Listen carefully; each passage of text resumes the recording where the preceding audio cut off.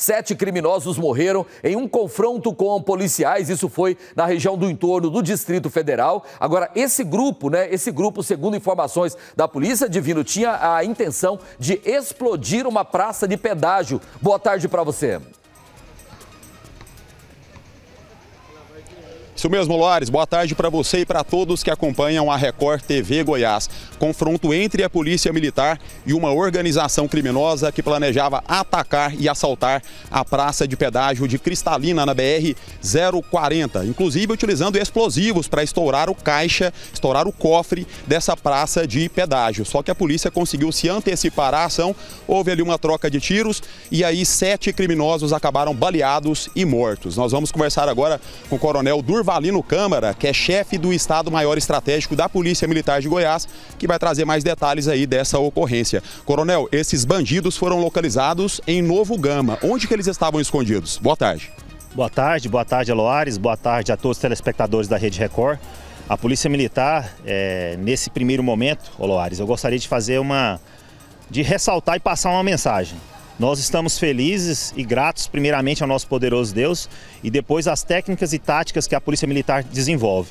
Pois ontem os nossos policiais militares enfrentaram um confronto intenso, é, num local de baixa luminosidade, e todos os nossos policiais militares conseguiram regressar para os seus lares com a sua integridade física preservada e bem como com o sentimento do dever cumprido. Essa operação policial ela iniciou-se através do compartilhamento de informações entre a PM, a Polícia Militar do Estado de Goiás e a Polícia Militar do Distrito Federal, onde através dessas ações de inteligência nós conseguimos identificar integrantes de uma organização criminosa, bem como localizar a base operacional deles, que era em uma chácara na zona rural da cidade de Novo Gama. Através das nossas ações de inteligência, conseguimos é, delimitar que esses indivíduos iriam é, atacar a praça de pedágio da BR-040 com explosivos né, e com as armas de fogo, para justamente capitalizar essa organização criminosa. Após essa toda juntar todo esse material de inteligência, compartilhar entre as forças, foi determinado que equipes do batalhão de Rotan, da Companhia do Entorno e equipes do Batalhão de Operações Especiais da Polícia Militar do Distrito Federal partissem para a abordagem tática. Durante essa abordagem no, na chácara, os nossos policiais foram recebidos de uma forma injusta e violenta mas graças a Deus nós conseguimos vencer essa resistência e o resultado foi esse. Sete indivíduos que infelizmente perderam a vida em confronto com, com os nossos policiais, foram apreendidos veículos roubados, armamentos, bem como explosivos, né? E que a gente encerra de uma vez por todas essa organização criminosa que estaria iniciando as suas ações ali no entorno, mas que de uma vez por todas é, não, não irão mais lesar e incomodar o cidadão de bem. Esses armamentos apreendidos de grosso calibre, a gente está falando de indivíduos altamente perigosos, inclusive com passagens criminais e a desconfiança de que agiriam posteriormente aí depois da, da explosão desse, desse cofre no, pedra, no pedágio ali que foi mal sucedida, não aconteceu de fato.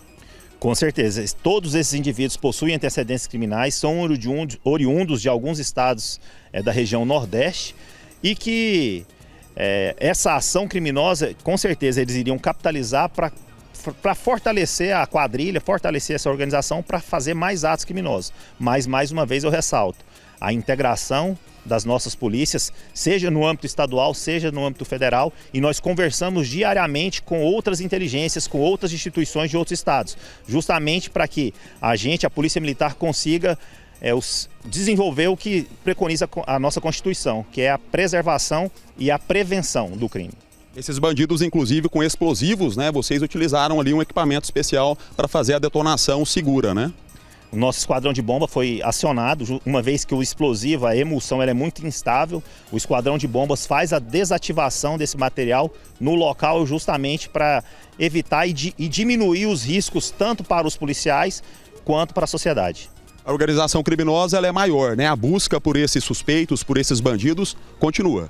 Continua, inclusive nós estamos com equipes no local agora, tendo em vista que durante o cerco policial nós temos é, informações que podem sim ter fugido alguns indivíduos e a nossa Polícia Civil, através do material que foi apreendido, vai iniciar ali o seu inquérito policial, iniciar diligências que culminarão com certeza na prisão de mais indivíduos.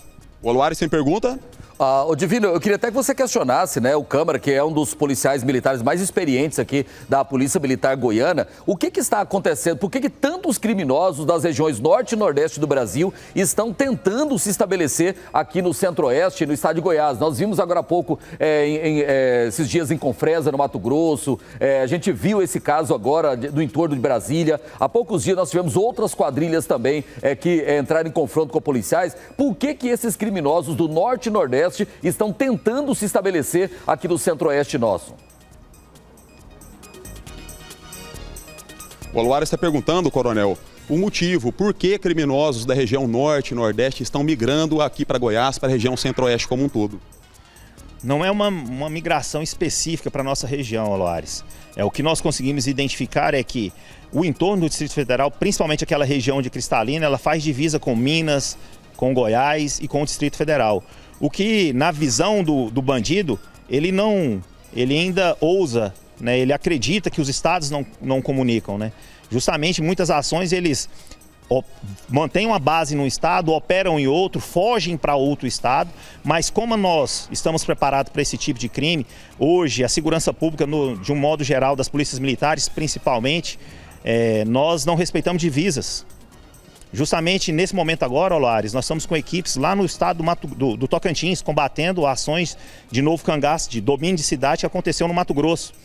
Então, estão lá Polícia Militar de Goiás, Polícia Militar do Tocantins, Polícia Militar de Minas Gerais, Polícia Militar do Pará, Polícia Militar do Mato Grosso, justamente porque nós entendemos que a partir do momento que uma quadrilha dessa é presa em qualquer local, qualquer estado do Brasil, bem como um armamento desse é retirado de circulação, todos os estados da federação, o país de uma maneira geral, vai ganhar e muito justamente nesse combate efetivo.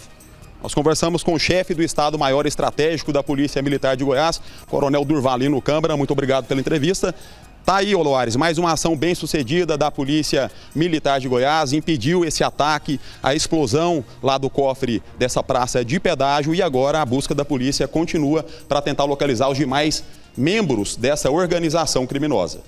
Obrigado, Divino Rufino. Obrigado aí o Coronel Câmara né, trazendo essa visão, né? Porque a gente tem visto muitos criminosos é, que vêm aí de regiões norte, nordeste principalmente, tentam se estabelecer, mas chegando aqui no centro-oeste, eles encontram uma polícia preparada e qualificada, inclusive trocando informações com policiais de outras regiões e assim impedindo né, que eles é, alcancem o objetivo deles, que é praticar esses crimes aqui. Obrigado, Divino. Obrigado aí pela informação.